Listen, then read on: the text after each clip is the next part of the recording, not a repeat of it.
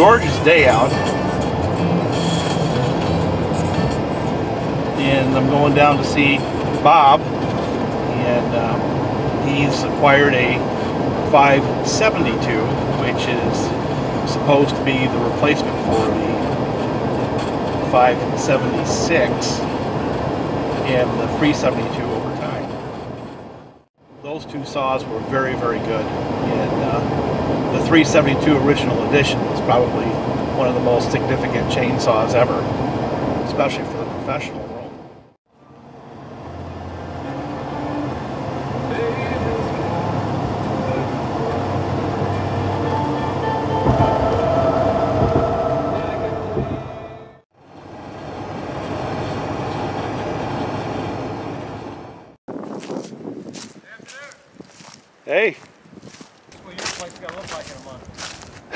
month.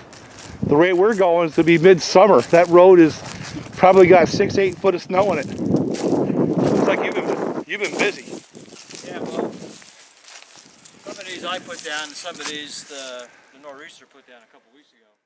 So we got plenty to play with here, but the star of the show, see, we'll come over to the uh, to the stump over here.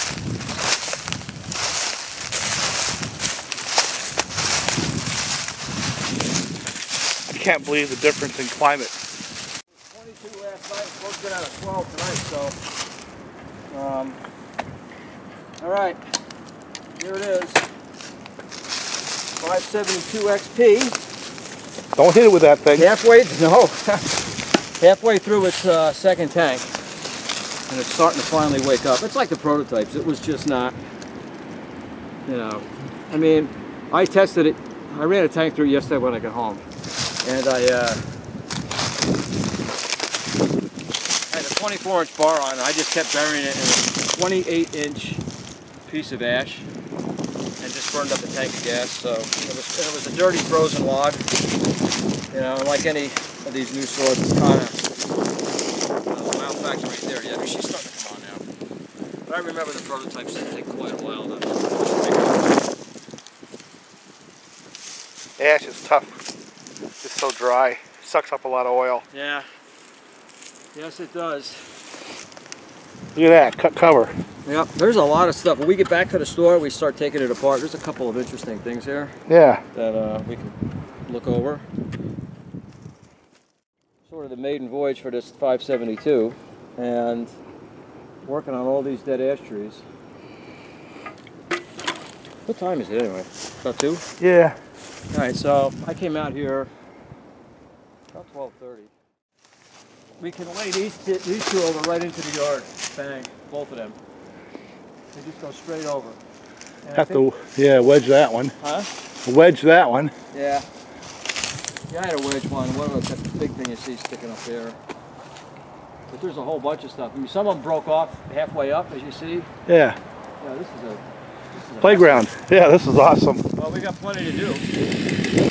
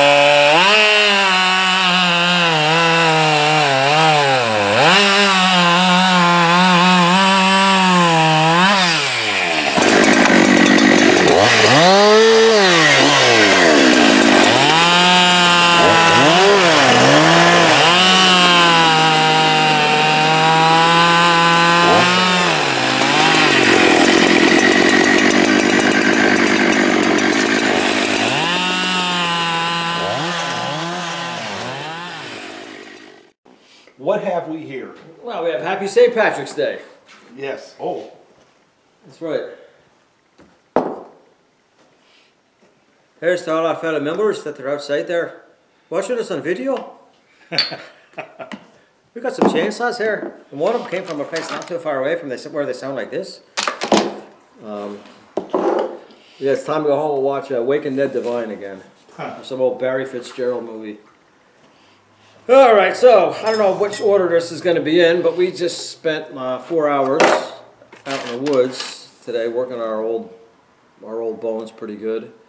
Uh, dropping some trees and cutting up some firewoods. A lot of dead ash. And uh, so today was the debut of the 572 XP, which we have an example here.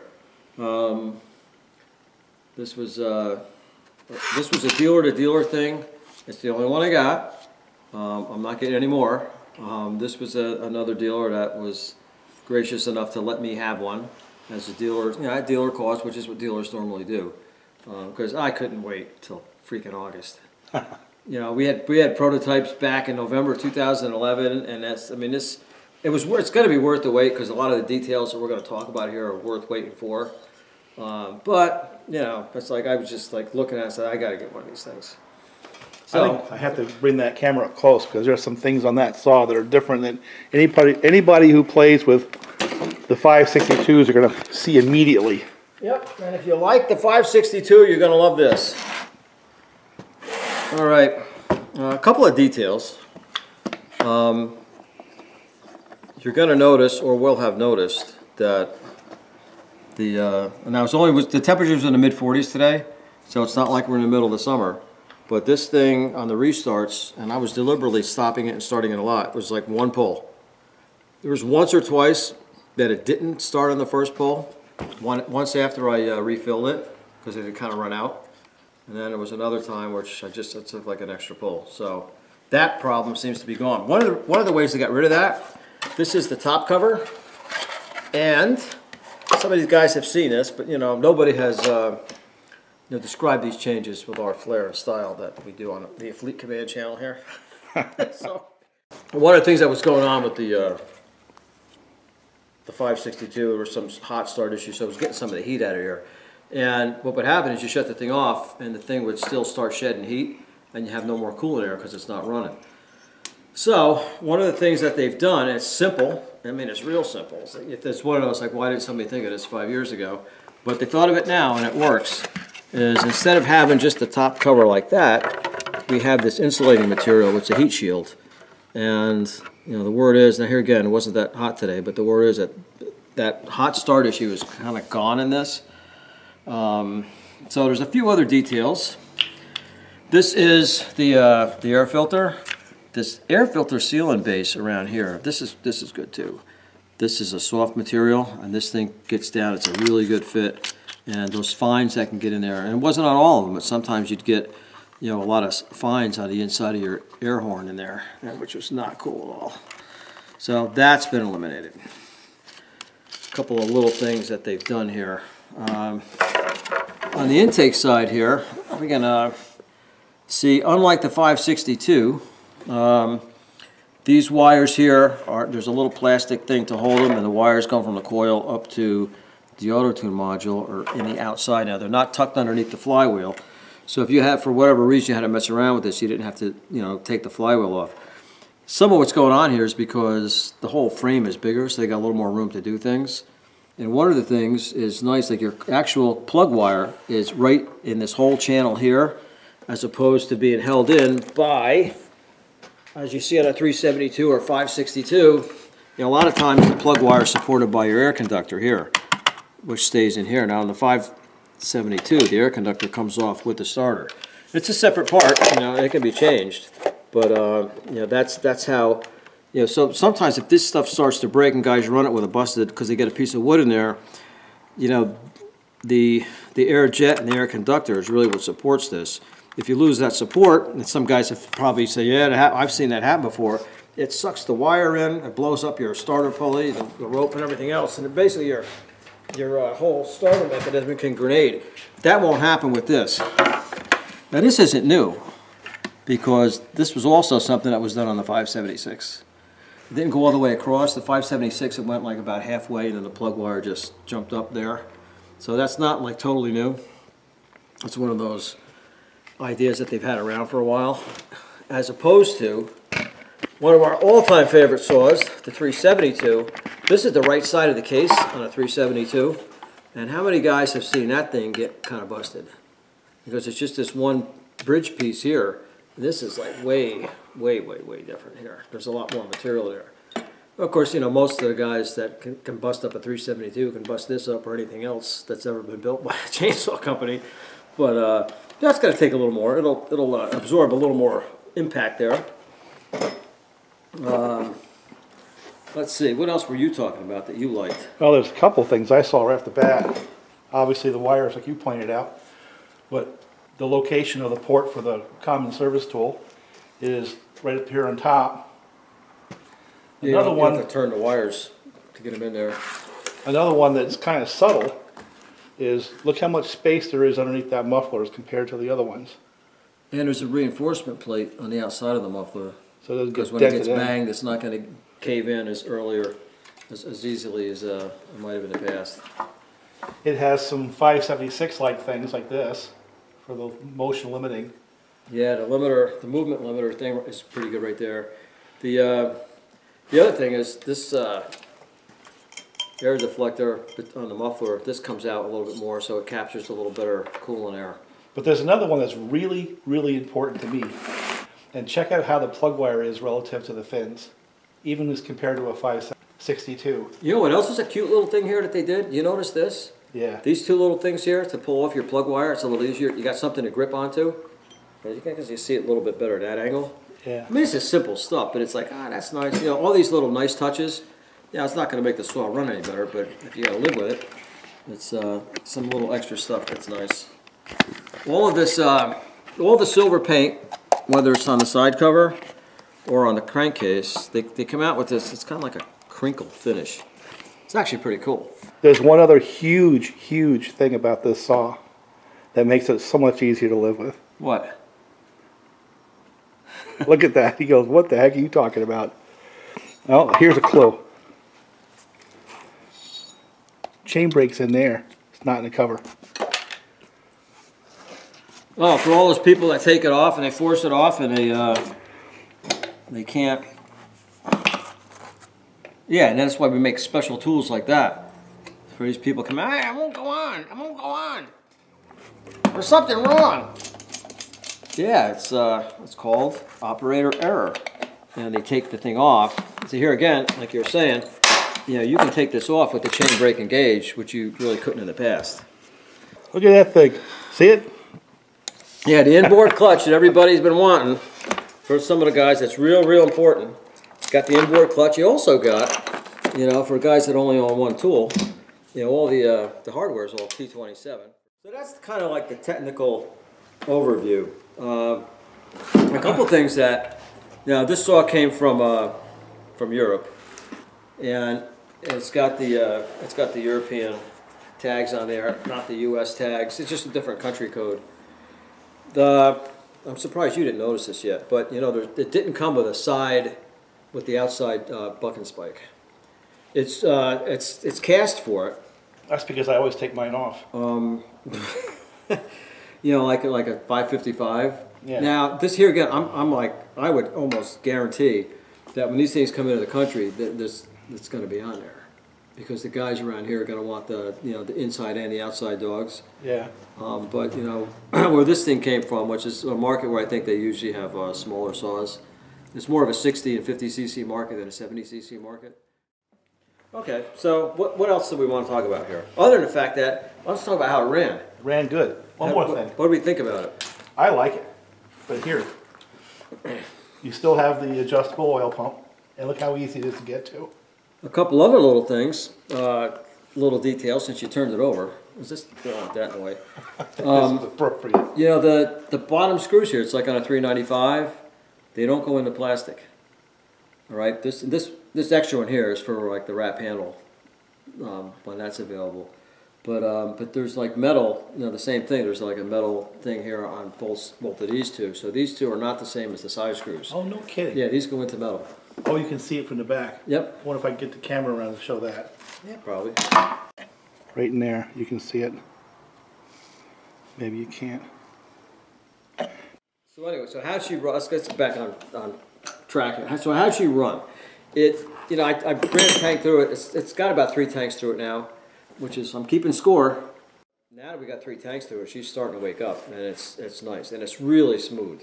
No vibration. And we could do. We're gonna at some point probably will do a whole video just on vibration, but um, it's the power's starting to get really nice, which was you know like anything. You get first, you're I got know, all this anticipation. And it's like oh, I'm not bragging about this thing yet. But I remember from the prototypes that we had, the prototypes took a long time. Yeah, they, they took five to ten tanks before they really started to you know get the wow factor. Ran it back to back with uh, an XPW, right? Yeah. You, you could hardly tell the difference in power, if there is any difference. And I would attribute, we disagreed on that just a little bit, but I would attribute some of that to the way I sharpened a chain.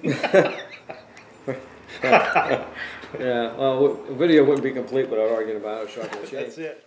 The key point here is that this is not broken in. Right, well, it still makes good power. And when. I had, you know, we had those prototypes, you ran the prototypes too, that day, when they were brand new. Yeah. And they're okay, you know, and when they came back after really being broken in, it was a whole different saw. So I think you're being So- too hard on it.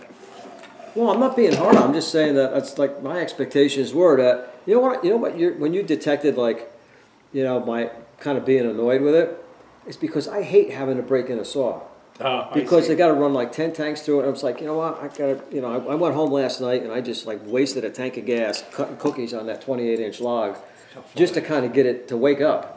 And uh, it's it's like I said, it's coming on now, and it's like, all right, this is fun now. That's the uh, standard BPM R7A plug. That's good. That- That's, uh, you know, you don't get that real little mini plug. Um, and the reason you can get, the reason the mini plugs came into being was it had to do with the, amer- the area on the top of the combustion chamber. Well, now we got to a bigger cylinder, so that's not necessary. Obviously, the design architecture here is within the family that was already established with the 62s. That might be the same part. The choke, yeah, the choke lever there on the spring. The throttle cable, I would guess it's gotta be longer. You know what's the same? Flippy caps. Yeah. Yeah. Yes, they were, uh, the uncomplicated flippy cap. Which can go all the way back to a fifty-five. You could put that on a twenty-one hundred. Now, I've been saving this because this is the thing that's gonna be most important to you. And this is a picture, you- you're gonna have to figure out how to get this on the camera. Um, but this is a picture of, um, the Oh, the three crank. seventy-two style size bearing, which is being held in the, in, by hand there.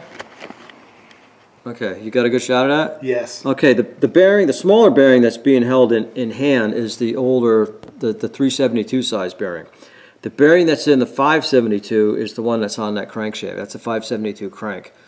And that's, uh, you know, it's, it's not an interchangeable part because it's got the integral seal to it, but that's like a two eighty-eight size bearing. So this is a really strong bottom end, very strong bottom end. Now that adds weight. I mean, but the fact is, I think most people uh, would rather have the reliability than lose a half a pound. You know, it's interesting because it seems to go in cycles where some designs focus strictly on weight and brag about weight, and others brag about reliability enhancements. And this one here, from the crank all the way up to the heat shields, has been about refining a design and, and getting the reliability to the point where it's undisputable. Yeah, I'm not hundred percent, hundred percent sure about this, but I'm, I believe that, that upsizing of the bearing was done since the initial prototypes that I had. Yeah. Yeah, they just felt that this thing was putting out a little too much power for that, for that size bearing. It makes good power. Uh, it makes the same kind of power as that XPW does, just a little bit different RPM range, but it vibrates less. There's very little vibration, and if, and if this thing picks up as much power as the prototypes did, it's, it's gonna be a whole different game. Right, Which I expect it will. Very cool saw. Now, there's a, actually, there's a logger that, he's one of the guys that tested the uh, prototypes, and he's gonna take this because I don't, you know, I don't, I'm not really gonna have a chance to put another ten tanks through it without just wasting a whole bunch of the firewood pile. So I'm gonna give it to Frank, and Frank's gonna break it in for me, but you can't break anything on it because you, none of these parts are available yet here in the US. So you Now, can't say, oh, I need a brake handle for, Did he break the first 562? Was he the one who dropped that one? No, no, that was another guy. That was the guy named Lee. Yeah, it, it, it failed the, the 60 foot gravity test. We ran it though. Yeah, we actually ran it after it broke. It still, you know, still ran okay. That was actually a 560. It was a 560. That was a 560 with that ugly gray top. Hey, can we plug this into Common Service Tool and see if there's any new little widgets? Yeah, we can. By the way, this is an aside, but this is the bar that Bob ran on that saw today. And this is the chain. And we were cutting ash, and it was very dry. It was, it's dead. yeah. How many times did you have to adjust that chain? Oh, actually, yeah, I didn't adjust it at all. There's two tanks of fuel on that without having to tighten it. Yeah. And if anything sucks up oil, you know, bar oil, it's going to be that kind of ash. Okay. Show them how easy that was, because that that's huge. Yeah, you know, for guys that got to work on these things, you know, this this uh, access plug here, Right on top of the carb. yeah, it's easy to get at, not tucked in there, even though they got more room. And if you see, there's there's actually room to put that in there. I like it. So I suspect on a G that that, that might be where it goes, because G right here, on a G model, you're gonna have like the carburetor heater right there. I see. So could be a couple different things. Well, it doesn't. Wow, we got an hour and a half on it. We started at 27 times. It's running at 13.5. Okay. And our carburetor, that's a weird setting right there. I think that's because it was running out of fuel. Either that or it was just idling too long. So, let's see. No error codes, of course. Is, is there a firmware update or not? John? I got Red Max in here now. All right, uh, we're gonna have to check the coil number, but it can only be one coil because these things just came out. All right, you know what? This actually is gonna take an update because it would have already said your product is up to date. So let's do an update. Okay, firmware update succeeded. All right, now it's gonna go reconnect. Let's like- see. Go back to operating history. Let's, you know what? No, watch these numbers on your fuel settings and let's just see. I'm going to do a, a reset on the fuel settings. Here, let me get in close on it. All right, we'll just see, just for hell of it, see if they're going to change. Hang on. Because 35 looks like a low number, but then when you run these things out of gas, you know, the low setting is going to get strange. Well, the low is is 35. 35 the high is uh, 76. Now, if you, you know, some of these things will obviously they'll they'll reset themselves as you run them. But we don't know what's normal for that carburetor. Well, we're going to find out. Because we're going on a default reset on your fuel settings. Yep, they changed a lot. Wow, all the way up to 80. Yeah. Oh, yeah. You know, and that is low. I mean, a lot of times you'll see, like on a 562, you'll see them like 120, 130. You know, so they've, they've got, so this, this whole idea that heat shield and keeping the heat out of the carburetor, it works. That's interesting. That is a that is a biggie. Now I'm glad we plugged this thing in. Okay, we're kind of winding things down here. You know, the thing is, if we work in the woods enough, even our big mouths start to run out of gas. For you guys that think we talk too much, and we do, there's no question that we do. Um, Now, I'm just kind of curious here. is that circlip and that washer the same as the 372? Absolutely. I don't have a big enough thing to do this, and uh, there we go. All right, we're going to wind it down. Anything else to say? Uh, no, it was a good day. You know what? We we've been kind of winners made a return, an unwelcome return that we wish wasn't here. Um, but we had a good, another good day in the woods because we're jumping on them when we get the opportunity to get out there. So we had a good one in January, good one in February, good one in March here. You got a wedding next week, then it's Easter. So We'll see everybody in April. Yeah. Stay tuned. Same bat time, same bat channel. All All right. right. Camera off.